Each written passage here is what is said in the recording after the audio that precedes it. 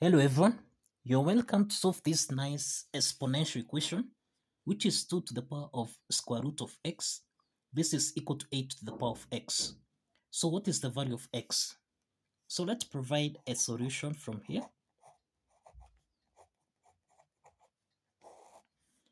Now we have 2 to the power of square root of x. This is equal to 8 to the power of x. The first step to do here, we can express 8 basically as 2 to the power of 3. So we have 2 to the power of square root of x.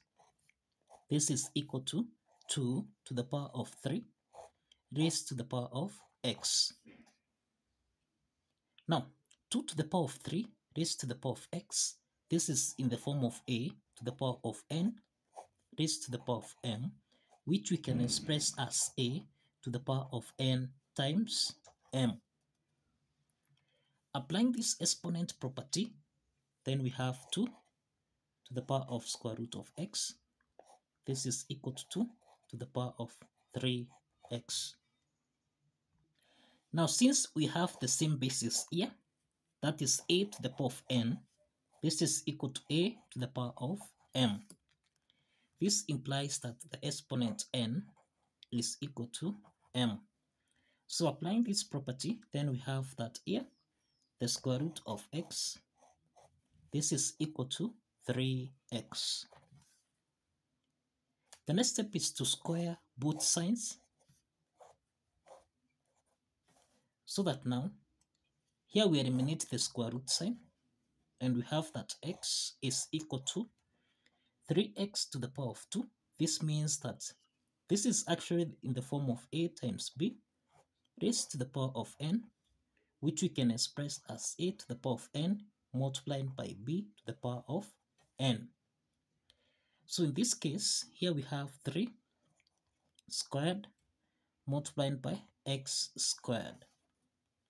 So that now here we have x, this is equal to 3 squared, this is 9 then x squared.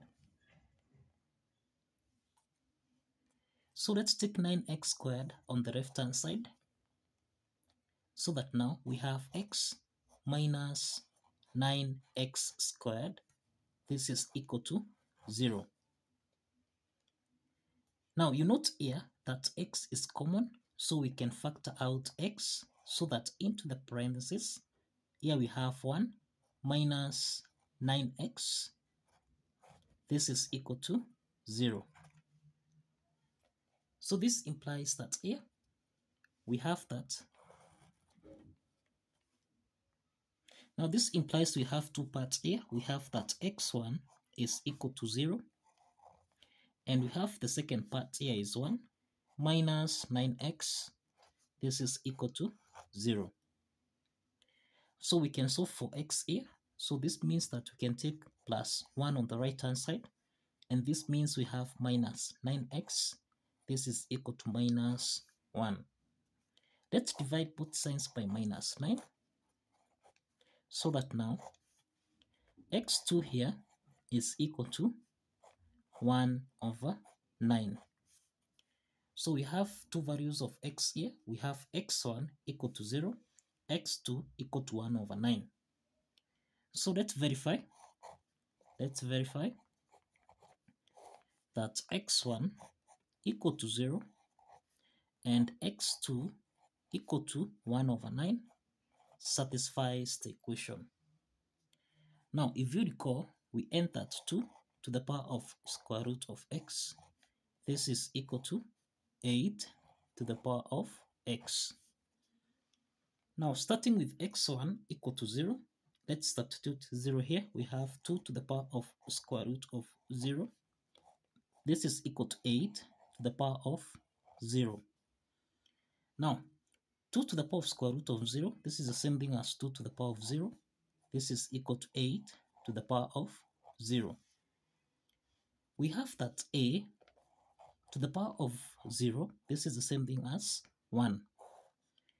Now, applying this property, then we have that 2 to the power of 0, this is the same thing as 1, which is equal to 8 to the power of 0, which is 1. So the left hand side is equal to the right hand side. So let's check x2, which is 1 over 9. Again, we have 2 raised to the power of square root of 1 over 9. This is equal to 8 raised to the power of 1 over 9. So 2 raised to the power of square root of 1 over 9, this is 1 over 3. This is equal to, we can express 8 as 2 to the power of 3. So here we have 2 to the power of 3 raised to the power of 1 over 9. So let's simplify here. We can simplify 9 by 3. So by 3, 1, by 3, 3. So we have on the left hand side 2 to the power of 1 over 3. This is equal to 2 to the power of 1 over 3. So this implies that the left hand side is equal to the right hand side.